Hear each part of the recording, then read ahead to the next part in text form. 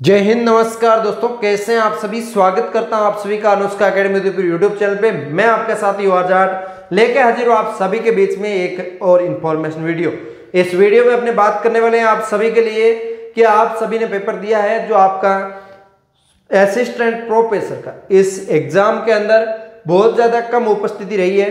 इस उपस्थिति को देखते हुए मुझे ऐसा लग रहा है कि इसकी कट ऑफ़ क्या जा सकती है। आप आइडिया लगा नहीं सकते। ये कट ऑफ़ आगे जाके वहाँ पे, जहाँ पे फ़र्क पड़ना चाहिए एक्चुअली वहाँ पे फ़र्क आतेगा। लेकिन अभी आपके कितने मार्क्स आ रहे हैं, कितने वाले क्वालिफाई होंगे, इन चीज़ों पे चर्चा करेंगे, ठीक है? उपस्थिति कितनी रही? मेन मकसद ये भी है। संस्कृत शिक्षा विभाग की बड़ी भर्ती आप देख सकते हैं असिस्टेंट प्रोफेसर जो आप सभी को पता है, इसके अंदर है, और इसके ऊपर बात करने वाले हैं। आप सबको पता है, आठ तारीख को ये एग्ज़ाम हो चुका था और इसके अंदर बारिश के कारण उनतीस विद्यार्थियों ने परीक्षा नहीं दी। तो इसके अंदर टोटल जो फॉर्म भरे गए थे सब की बात करता हूँ। सुबह दस दस से लेके आपका पेपर में बैठना था। पेपर के अंदर वीडियोग्राफी की गई थी एक्चुअली पर बंदे की ताकि कल ने डमी बैठ जाए, उसकी वीडियोग्राफी चेक करें तो उससे पता लग जाए, ठीक है? अब इसके अंदर मैं बात करूँगा टोटल फॉर्म की। तो टोटल आपका सैंतीस हज़ार और नौ सौ अट्ठावन जो लगे हुए थे, उन फॉर्मों में से जो आपके प्रजेंट हुए थे ओनली आठ हज़ार तीन सौ पचास विद्यार्थी ही पेपर दिए हैं। उनतीस हज़ार पाँच सौ अड़सठ विद्यार्थी जो आपके अपसेंट रह गए पेपर ही नहीं दिए। और आपको पता है, एक तो अजमेर पेपर हुआ है और एक इसके अंदर जयपुर पेपर हुआ है।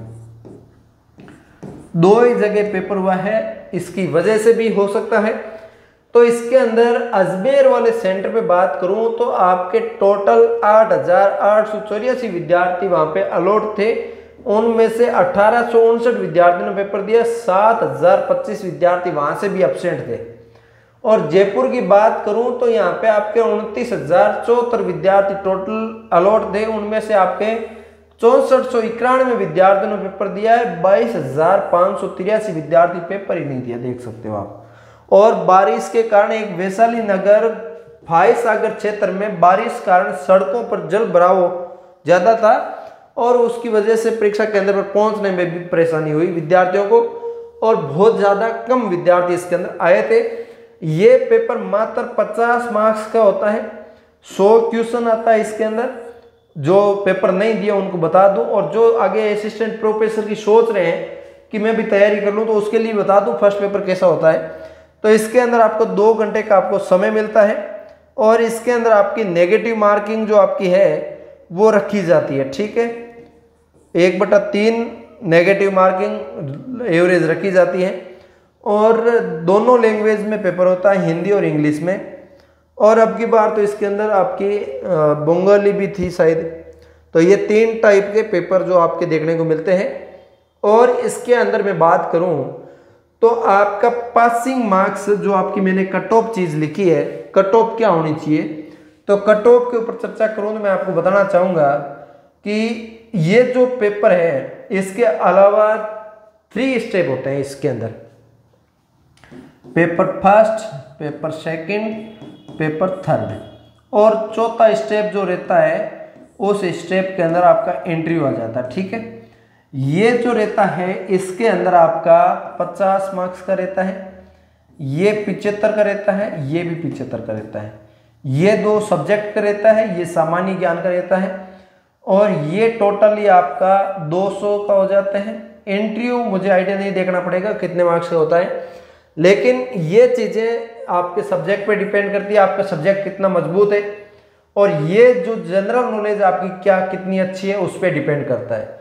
अब 50 जो है, ये आपका मिनिमम क्राइटेरिया इसके अंदर आप पास हो जाते हैं 40 परसेंट ले आते हैं तो आप नेक्स्ट पेपर के लिए एलिजिबल हो जाते हैं, अन्यथा नॉट एलिजिबल हो जाते हैं, ठीक है? तो अब 100 क्वेश्चन आए हैं 100 में से आपने काट कूट के आपने 40 सही कर दिए तो ये आप इसके अंदर एलिजिबल हो। कोई दिक्कत नहीं नेक्स्ट पेपर में आप बैठ सकते हो। अब कट ऑफ़ जो आपकी डिसाइड होगी इन जगह से ही हो जाएगी क्योंकि यहाँ पे विद्यार्थी जो पेपर देने वाले थे वो कितने हो गए देख सकते हो।